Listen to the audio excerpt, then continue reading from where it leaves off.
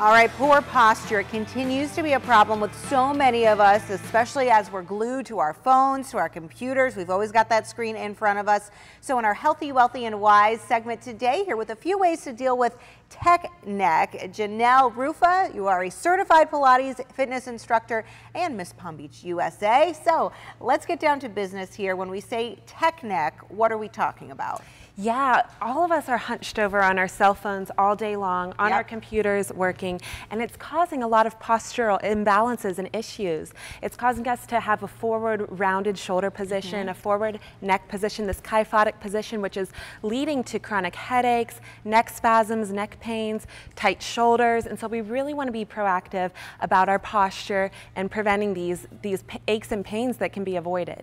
And it's, you know, probably just becoming more and more common lately with all of the technology out there and just getting glued, like you said, to the technology, to your phone, right in front of your face. Yeah. So what are some of the things we can do to help deal with this? Yes, absolutely. So first we want to be proactive and incorporate some healthy habits to prevent this. So okay. for instance, we're on our phone, rather right. than having our phone down and, and bringing our head forward, mm -hmm. a mm-hmm. healthier position would be to bring our phone to eye level. Okay. There's actually an app you can download called NeckGuard that will tell you if you're in the red zone or the green ah, zone. Oh, wow, okay. So bringing your, and it'll send you notifications if you're bringing it improperly. If you're in the red zone, right? Yes. Okay. Absolutely. Also, we want to be proactive about some various stretches. So I brought some props here that we can use today. First okay. of all is a pen. Okay. So if you're sitting at work writing, a nice little trick is to place that pen right in between your scapular muscles and then glide the shoulders down the back and give it a little pinch. Okay. And what this will do is help with our scapular retraction. So actually put it behind you. Uh-huh. I've got all these microphones hooked up behind me, so I can't,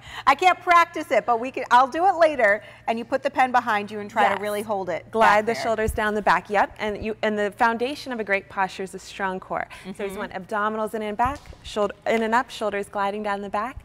And then also I brought these towels here to okay. show you a few little neck stretches you can do at work or at home or okay. in the car.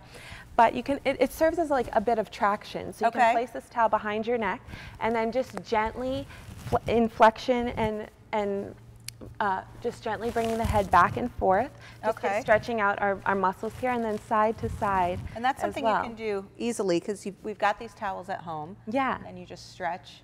Flexion and extension, exactly. All right side to side. Those are great. And also to stretch out our pectoral muscles, you can take it behind the back, glide the shoulders down the back, and, and keep the core nice and tight, and just stretch out, open out the pectoral muscles in our chest. So those are great great stretches as well. Anything else you can do um, when you're sitting at your desk because so yeah. many people are kind of glued to that computer screen? Yeah, absolutely. Well, you can set an alarm every 20 minutes. You want to kind of set an alarm, glide the shoulders down the back, and there's another exercise called chin retractions or chin tucks mm -hmm. where you basically create a double chin, so it doesn't okay. look too attractive, but um, it's very effective for helping that retraction and help reset our posture as well. All right, very good. Thank yeah. you so much. We Thank appreciate you. those tips. And you know what, the best tip is probably put the phone down for a few minutes, right? Yes, absolutely. Just put the technology away and uh, do something else. Occupy your hands with a, you know something else. Play with the kids and you know just try to break away from it a little bit. Absolutely. All right, thank you. All right.